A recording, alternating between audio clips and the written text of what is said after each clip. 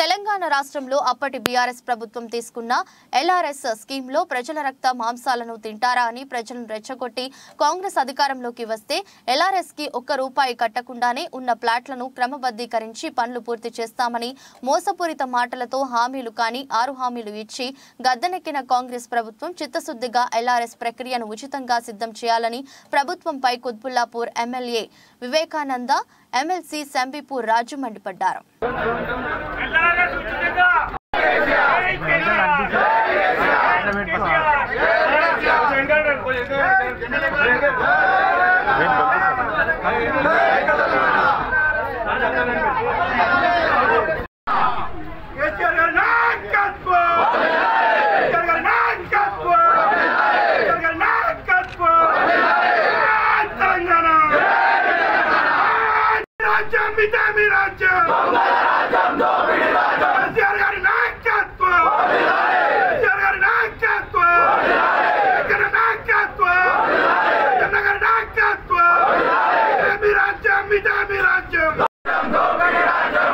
ఇదే రాజ్యం ఇదే మీ రాజ్యం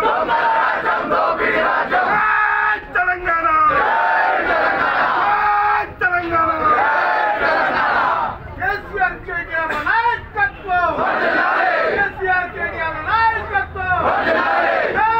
మీరు ఎవరు కూడా రూపాయి కట్టొద్దు. ప్రజలు ఒక రూపాయి కూడా కట్టొద్దు అని చెప్పేసి ఆ రోజు ప్రజలని మభ్యపెట్టి పక్కదారి పట్టించి ప్రజలను మోసం చేసి మరి రక్త మాంసాలు తింటారా అని చెప్పేసి ఆ రోజు పెద్ద ఎత్తున నిందలు ఇదే నాయకులు మరోజు. మరి ఆ రోజు బీఆర్ఎస్ పార్టీ నాయకుల పైన మా ప్రభుత్వం పైన చేసి సంగతి గుర్తు చేస్తా ఉన్నా.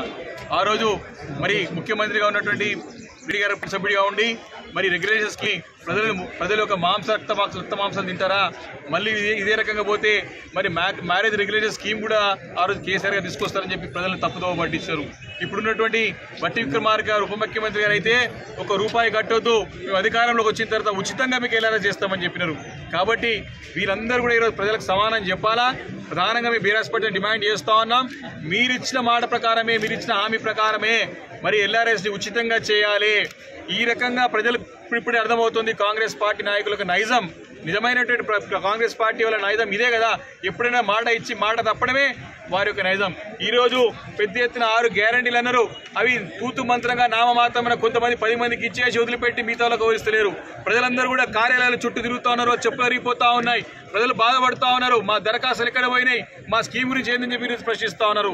తప్పించుకు తిరిగిపోయి అది కాకుండా మా ప్రభుత్వం చేసిన మంచి పనులని అన్ని కూడా వాళ్ళపైన తప్ప. వారిని కూడా తప్పుడు ప్రచారం చేస్తూ మా పైన మా అధినేత పైన కేసీఆర్ గారి పైన కేటీఆర్ గారి పైన మరి దుమ్మెత్తి పోయడం వారు పనిగా పెట్టుకున్న తమి తప్ప ప్రజలకు మాత్రం ఏం చేస్తామో చెప్తారని చెప్పి మనవి చేస్తున్నాను. కాబట్టి ఎల్ఆర్ఐ స్కీమ్ని మీరిచ్చిన మాట ప్రకారంగా ఖచ్చితంగా ఉచితంగా చేయాలి. లేకపోతే ప్రజల పక్షాన నుండి బీఆర్ఎస్ పార్టీ పోరాటం చేయడానికి సిద్ధంగా ఉందని చెప్పేసి మరొకసారి మనం చేస్తాను